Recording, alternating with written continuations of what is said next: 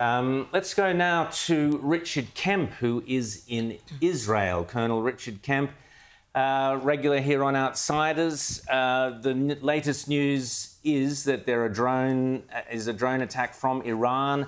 Richard, you've been warning about this sort of thing for months and months. Uh, tell us, Richard, the latest from where you are in Israel.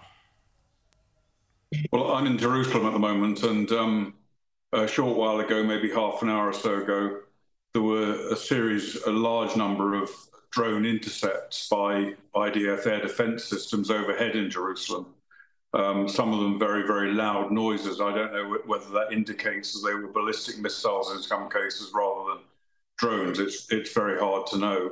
Um, but nevertheless, there were a, a large number of intercepts. I believe that there have been a few direct impacts, at least one direct impact of a drone or a ballistic missile inside Israel. But so far, the information hasn't managed to filter out, as far as I'm concerned, anyway.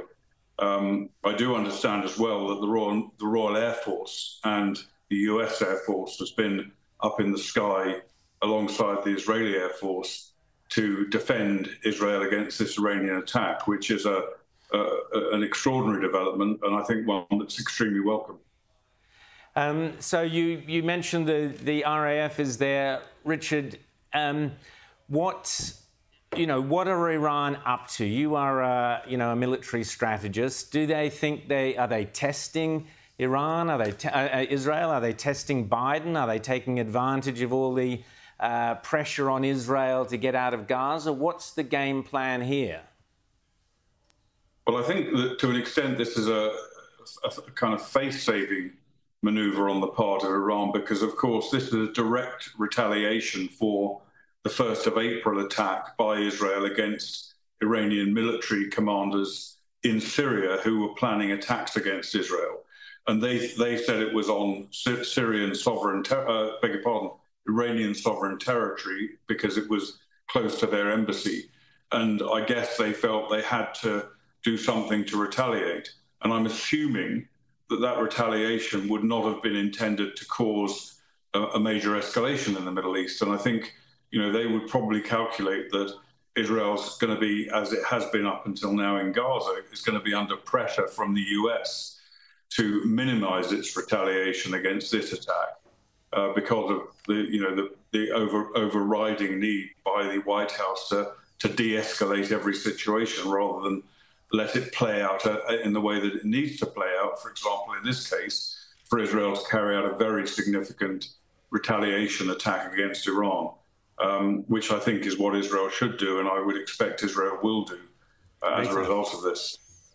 Uh, what's going to be the reaction from uh, the other Middle Eastern countries to this escalation? We're hearing reports uh, that Saudi Arabia, Jordan, are shooting down drones, missiles. Uh, uh, is this going to unite those those countries behind Israel? I think in a way they're already united behind Israel, and this may be the most graphic demonstration of that. But um, Egypt, Jordan, uh, Saudi Arabia, the UAE, etc., they all want Israel to deal with Iran, whether it's directly uh, by responding to this attack or whether it is indirectly by destroying Hamas or other Iranian proxies. But they're on the side of Israel on this because they very much fear Iran. Of course, let's not forget Iran has carried out um, both direct and proxy attacks against Saudi Arabia and the UAE in the past. Um, and it's it's a big concern for them. So I think, yeah, they're they, are they are going to be pretty firmly. They may not come out in public and say so, but they're going to be pretty firmly on the side of Israel here. Liz. Colonel, when I heard word of these drones being sent to Israel, as well as possible missiles, etc., I probably thought, like a lot of viewers thought, which was, well, the Iron Dome will just blow them to shreds. But I now understand there's there's limited capacity to just how much protection the Iron Dome can provide. Uh, depending on how sophisticated, how complex such a missile drone strike would be. Can you elucidate on that at all? Yeah, I mean, my, my understanding, don't quote me on this, um, sure. but my understanding is that this is, this is the biggest drone attack in history. okay, the history may not go back that long of, of attack drones, but it's a very significant attack. And, and I believe that there have also been ballistic missiles in the uh, in the array, and also my understanding is that there have been drones fired from Yemen as well, uh, and also there have certainly been um, rockets fired from Lebanon into the Golan Heights. So the idea, I think, is is to um, overwhelm Israel's missile defence, mm. uh, and it, it, may well be that's happened because we've we've we're certainly aware. I'm certainly aware of at least one uh, impact, direct impact. There may be more. I don't know yet, but um, the, I think Israel will have been uh, had its defences boosted by U.S. and British air defence support as well. So it may prove that the Iranians, you know, if, if, if there is only one direct impact. If there's no real damage done, this could be also an embarrassment for Iran in, in you know, in, in its sort of much heralded severe retaliation punishing the Zionist entity. Well, I, we don't know what's, how it's going to unfold yet. But if they don't do some fairly severe damage to Israel, then they, they will show themselves, I think, to be pretty impotent. And that could have an effect on the extent to which they can continue motivating some of their proxies around the region. Rita. Um, I want to play you just a clip from yesterday, President Biden being asked about the uh, possible escalation in the Middle East and action from Iran. Let's have a listen. Mr. President, what is your message to Iran in this moment? Don't. Uh, don't. We've heard that before from the Biden administration. Uh, Iran hasn't listened to that.